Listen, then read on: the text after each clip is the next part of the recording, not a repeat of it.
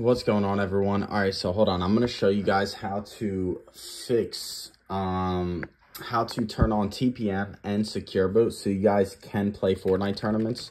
First, you're obviously going to want to go to your BIOS. Just hit delete when you guys are turning on your PC. It is actually really easy, chat. it might be a little bit different on your um, PC depending on your motherboard. I do have an Asus ROG motherboard. Um, what you're going to want to do, though, is go to boot. And then it's going to say secure boot right here, chat. You are going to want to make sure it is enabled. Mine was by default enabled. Some of you guys are, it's not going to be by default enabled, but mine was. And then the second setting you're going to want to turn on is TPM. You're going to want to go to search. Um, and then I just searched up TPM. Hold on. Why is it not working? All right. TPM. All right, there we go. Hit OK.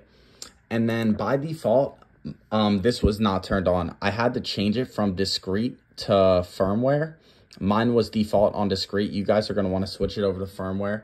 After that, you're going to want to hit OK. I've obviously already done this. So, um, uh, for me, it's not going to go back, but I'm going to hit exit. I've already done that. You guys are going to want to hit OK. After you do that, chat, um, you are good to go. You're going to hit easy mode, save and exit.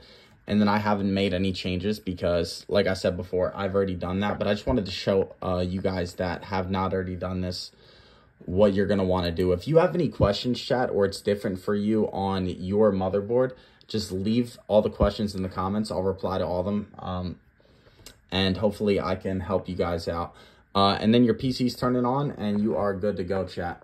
Hopefully this video did help someone out. If you guys um, do have any questions, just leave them in the comments. I will definitely try to help you guys out as much as possible. And I will talk to you guys soon.